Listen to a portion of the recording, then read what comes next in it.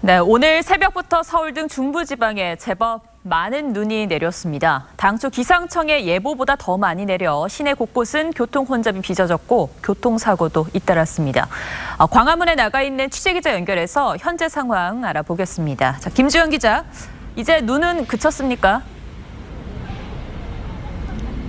네, 아침부터 내리기 시작한 눈이 지금은 그쳤습니다.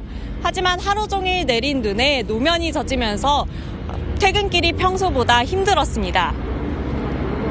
서울과 중부지방에는 오늘 새벽 5시쯤 눈이 내리기 시작했습니다. 서울과 경기, 강원 영서에는 1에서 3cm가, 충청 경북 북부 내륙에는 1cm 미만의 눈이 내렸습니다. 기상청은 당초 적설량을 1cm 정도로 발표했지만 예상보다 눈구름대가 오랜 시간 머물면서 적설량을 상향 조절했습니다.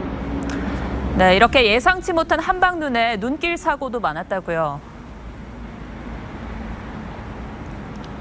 네, 이른 아침부터 눈발이 날리면서 크고 작은 사고가 이어졌습니다. 서울에서는 출근길에만 10건이 넘는 눈길 사고가 있었습니다.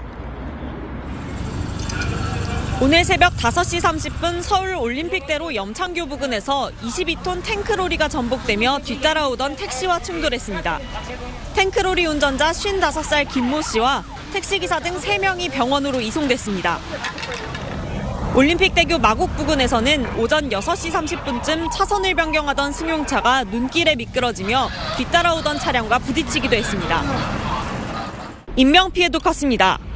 오전 7시 50분에는 경기도 화성시에서 야간 근무를 마치고 돌아가던 인력사무소 승합 차량이 미끄러지며 가드레일과 충돌했습니다. 조수석에 타고 있던 37살 러시아인 A씨가 숨지고 3명이 다쳤습니다.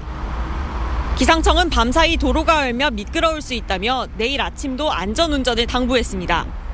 지금까지 광화문에서 TV조선 김주영입니다.